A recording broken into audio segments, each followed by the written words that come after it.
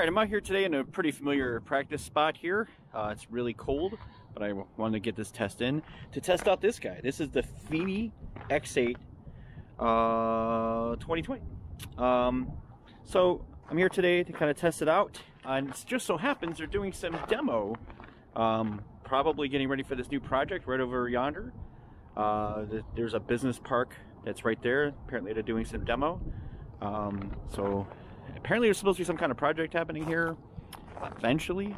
I don't know when that's happening, but uh, we're gonna get some tests in. So first flight, I'm gonna shoot with 4K at 30 frames a second. Look at the stickers. It's pretty rad, right? All right, hold on.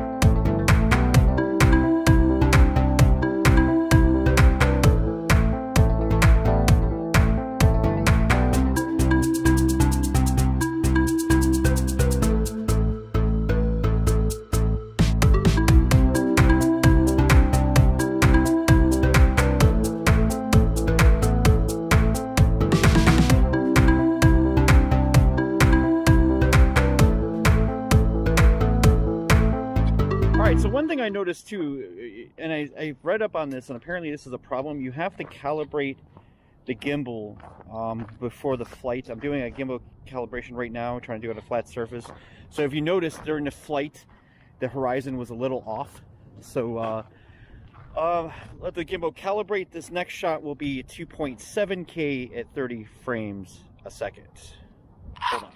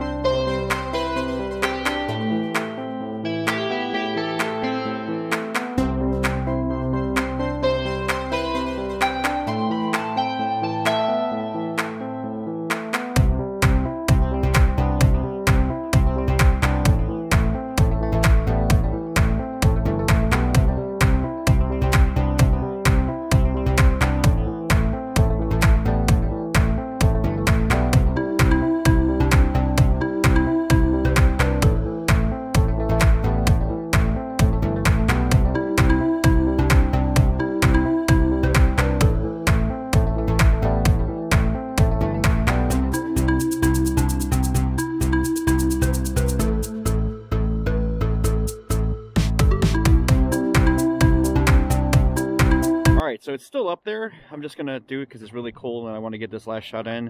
Um, this is uh, 1080p at 30 frames a second.